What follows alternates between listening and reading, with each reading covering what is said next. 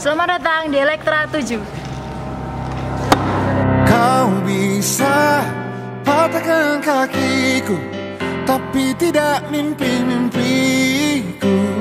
Kau bisa lumpuhkan tanganku Tapi tidak mimpi-mimpiku.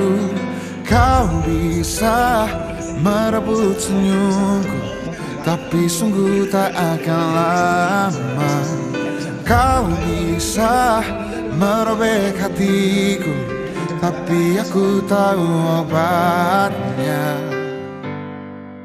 Manusia Sekarang saya sedang bersama Elvina selaku panitia Elektra 7. Hai semuanya, yuk kita lihat keseruan Elektra 7 tahun ini. Check it out.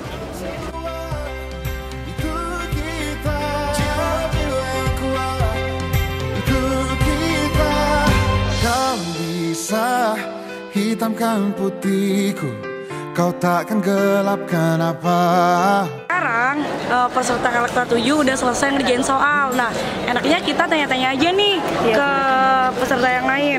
Ya, yuk kita nyari peserta ya. Gimana sih perasaannya waktu ngerjain soal tadi? pusing terus eh, senang kalau udah jawab tapi Ya bingung apa bener apa enggak. soalnya kan langsung kan Kalau boleh tahu ini dari mana ya? dari SMA 1 Malang Sebenarnya siapa sih orang-orang di balik Elektra 7? Ya, ada Rafin Aksa, Agra, dan eh ini ada Koor London Elektra 7. Mungkin, Sama Elo juga mbak. Oh, sama Elo juga. Mungkin kenalan Mas gimana? Ya perkenalkan nama saya Muhammad Fahri Nova. Panggilannya Fahri, sih tamatin ya. Apalagi mbak? Em, job desk-nya apain aja Mas dan kendala-kendalanya kayak gimana waktu kemarin sama sekarang? Hmm, kendalanya sebenarnya karena pesertanya banyak banget ya membludak kemarin pas penyisian jadi aku harus ny- nyediain LO banyak terus rundown juga alhamdulillah ya lancar sih Eh, nggak ada kendala sejauh ini dan pesertanya cukup antusias Yaudah makasih ya, sukses buat Elektra 7-nya. Terima kasih. Jadi di samping saya ini ada Rafin Aksa selaku panitia Elektra 7. Eh, boleh nanya nggak Elektra 7 itu apa sih?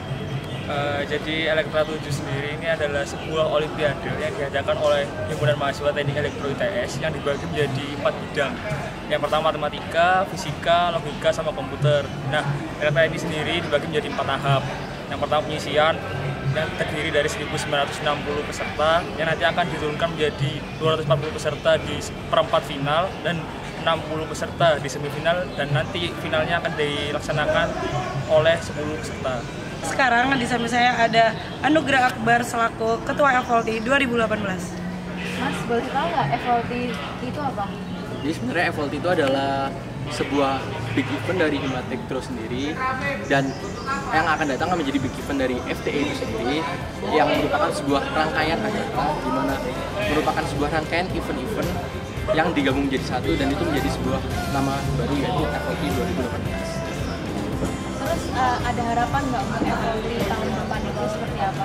Kalau harapan untuk FLT tahun depan ya harapan untuk berikutnya yaitu agar event-event yang ada di FLT ini itu menjadi lebih lagi dan lebih sukses lagi serta agar dapat eh, meliputi seluruh region-region yang ada di Indonesia serta bisa go internasional. Nah, sekarang kita udah sampai di penghujung acara Elektra 7 nih. Gimana menurut Mbak Elvina selaku panitia acara Elektra 7?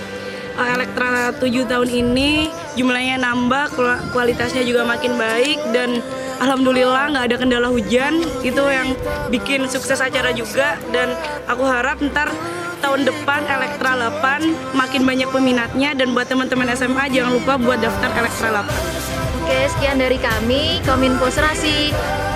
Undur diri. Satu kata untuk Elektra. Nukang. Epic. Mantap. Sungi.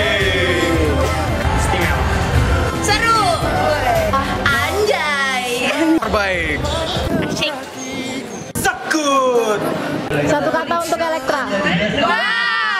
Hitamkan putihnya hatiku Tapi tidak mimpi-mimpiku